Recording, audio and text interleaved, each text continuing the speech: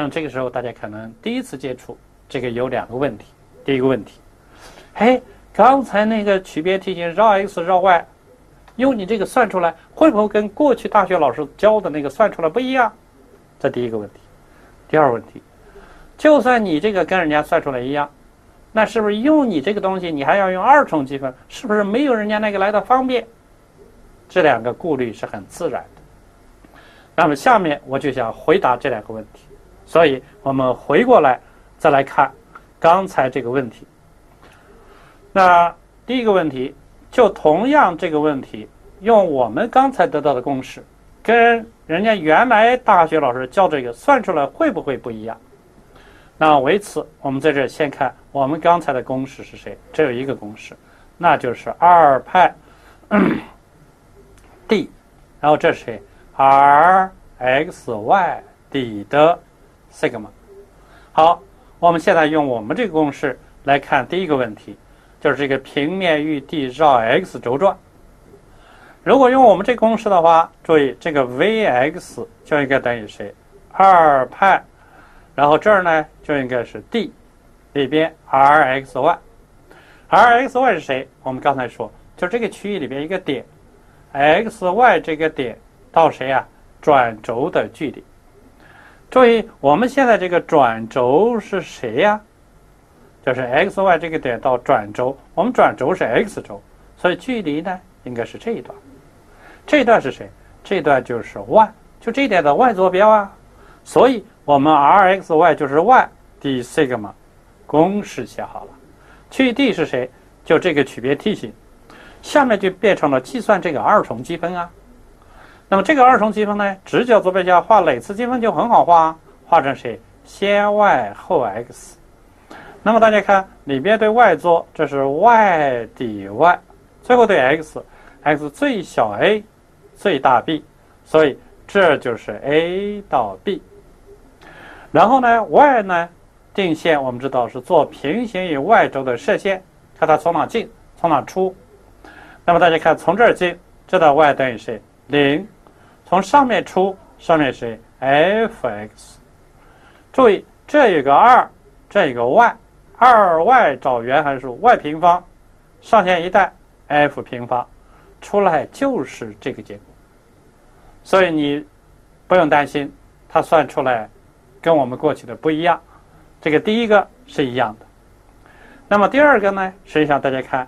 这绕 y 轴转，这个也是一样的，就是说这个 v 呢等于二派，然后是 d r 的 x y d 的 sigma。如果要算这个绕 y 轴转，这个 v y 就等于谁？就等于二派 d r x y，r x y 是谁？就是这儿的 x y 这个点到转轴，现在转轴是谁？y 轴。那么它到 y 轴的距离实际上是这一段，这一段是谁啊？x，所以这就是 x d sigma。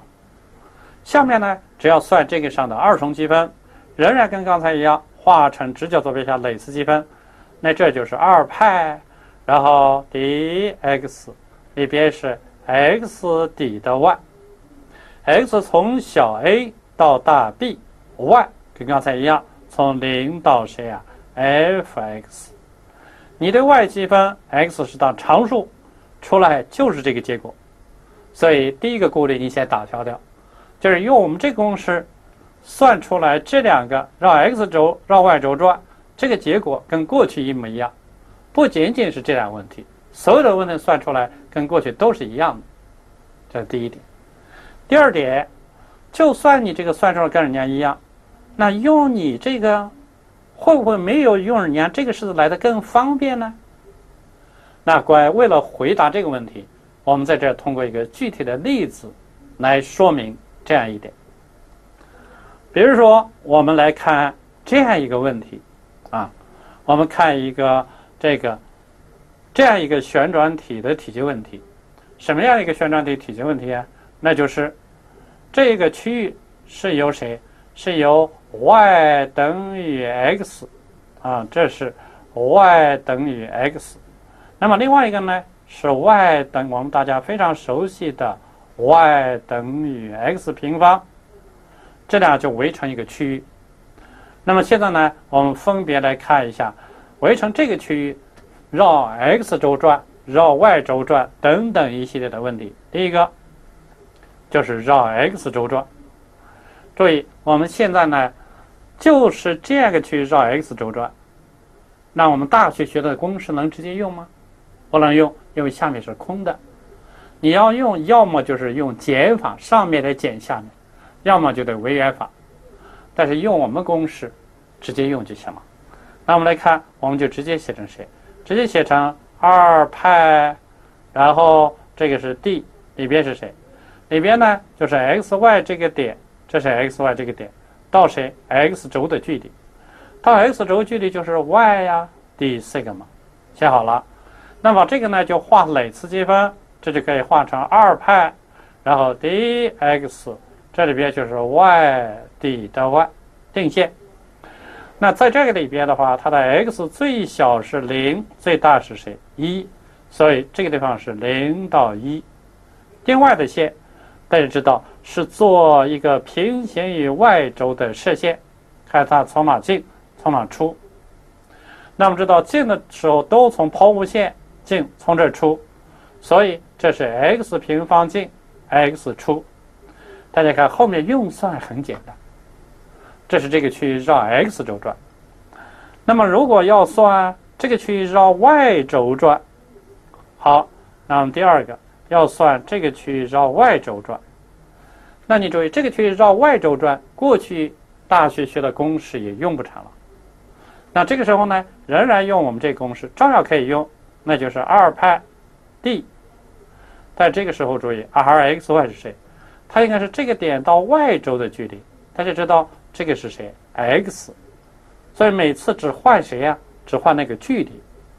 然后完了以后画累次积分，因为区域一样，所以这个定线是一样的。这仍然是零一 dx，这里边是 x 底的 y，这是 x 平方到 x，后面用算。仍然很简单。那么大家再来看，如果我们要计算这个 v 绕着谁啊？这个绕着 x 等于二转，就是这样一个区域呢，要绕着这个地方的一条线，这条线是 x 等于二转。你像这个区域绕它转，过去大学老师教的公式就用不成了，不是绕坐标轴转。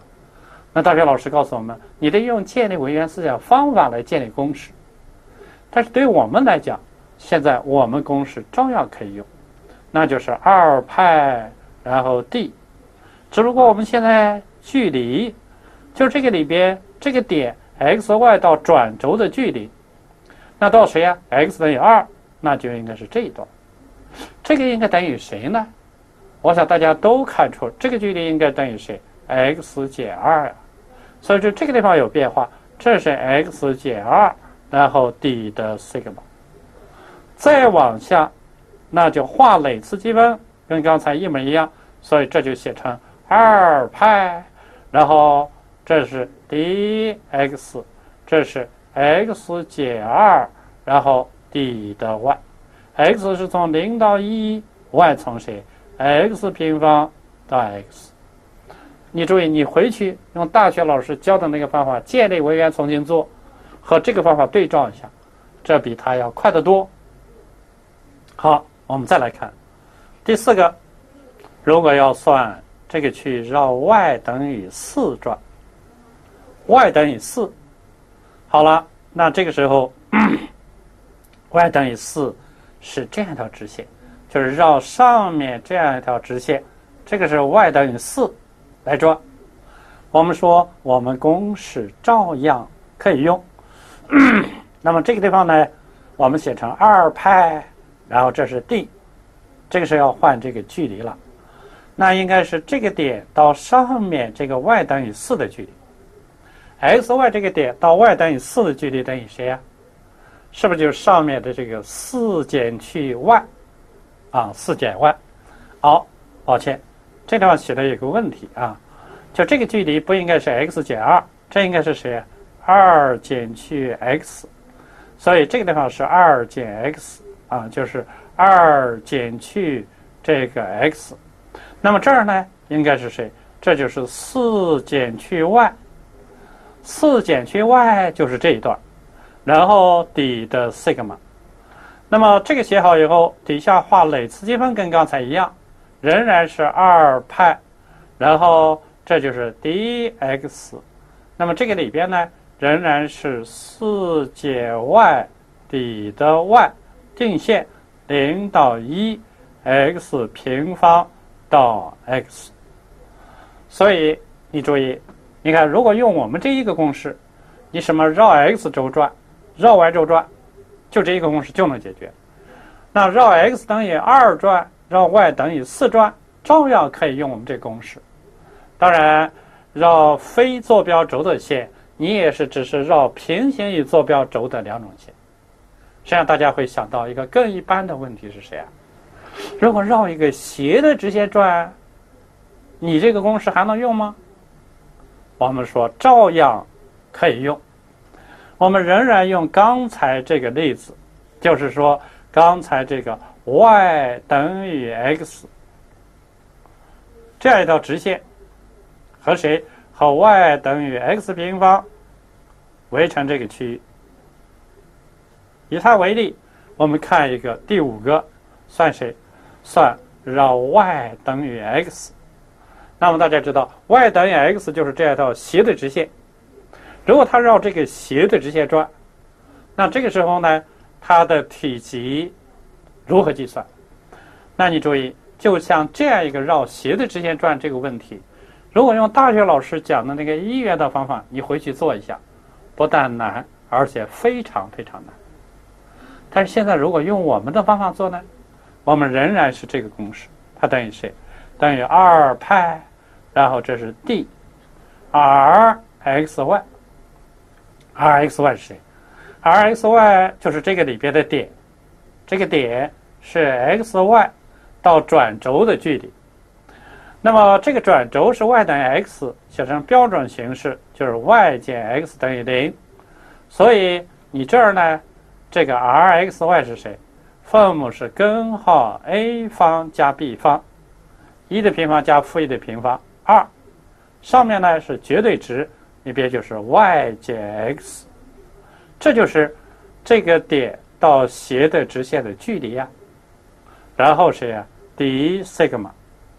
但是你要算这样一个带有绝对值的被积函数，带有绝对值的二重积分，那首先得拿掉绝对值。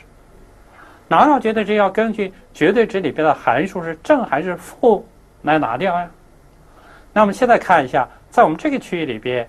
绝对值里边这个 y 减 x 到底是正还是负啊？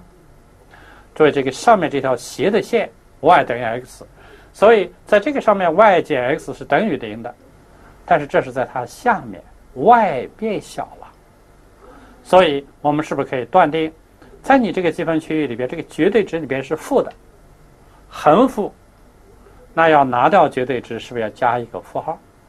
所以这就等于。把根号二拿出来，那么这就变成根号二派，然后这里边呢是 d，而里边呢，因为这个绝对值里边是负的，拿掉绝对值加负号，这就是 x 减 y d sigma，这是去掉了绝对值。再往下做，就把它画累次积分，那这就等于根号二的派，然后先 y 后 x，那么这里边呢？就是 x 减 y 底的 y，这个 y 就是从零到一，x 呢，呃，这个 x 是从零到一，就是 x 的范围是零到一，y 呢仍然从下面的抛物线到上面的直线。那这个后面的运算是很简单的，所以你看，通过这个例子可以看出来，我们刚才总结的那一个公式。它不仅能够解决所有的问题，而且呢，对这样的问题来讲，你看这解决了五个问题，就是一个公式。如果要用大学的那个方法，两个公式还不能解决所有问题，那很多问题你还得重新建立位元，还比较慢。所以你看，关于旋转体的体积问题，如果你站到这个角度来复习，复习到这样一个程度，这样一个区域绕 x 轴转，简单题；绕 y 轴转，简单题；绕 x 等于常数也是简单题啊；绕 y 等于常数也是简单题。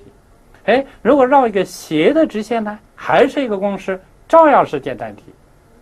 那你想想，如果复习某一个内容，复习到后来，你发现站到这个角度看这个问题，不管是哪一种问题，都是简单题。这就复习到位了，这个时候肯定能够得高分。所以，我们给大家总结一下。那么今天呢，主要讲了两个问题，一个呢就是关于求极限，讲了两个类型，一个是零比零，一个就是一的无穷大次方。第二就是平面域的面积和旋转体的体积问题。我们就想通过这两个热点问题告诉大家。复习考研数学，怎么复习？复习到一个什么样的程度能够得高分？那我们总结一下的话，就是复习考研数学，要在大学这个基础上，要往前跨一步。你看我们极限里边，我们在大学基础上就往前跨了一步。我们这个旋转体的体积、平面的域的面积，也是在大学基础上往前跨了一步。因为往前跨一步以后呢？我们上了考场，我们做题不但速度快，准确率还高，那这样子我们才能够得高分。所以考研数学要想得高分，一定要在大学基础上往前跨一步，站在另外一个高的高度，我们这样子才能得高分。那我们也想通过这两个问题，也想告诉大家，那就是我们以后讲课，经常很多问题可能是按照这样的思路处理。那么你看一下，我们吴老师这样一个讲法，能不能带领你得高分？那这就是我们这节课的主要的这个内容。后面的具体的例子，我们暂时不在这段一一去讲了，可以作为练习，大家自己练。关于前面这个基础班的高分导学部分，那我们就讲到这个地方。好，谢谢大家。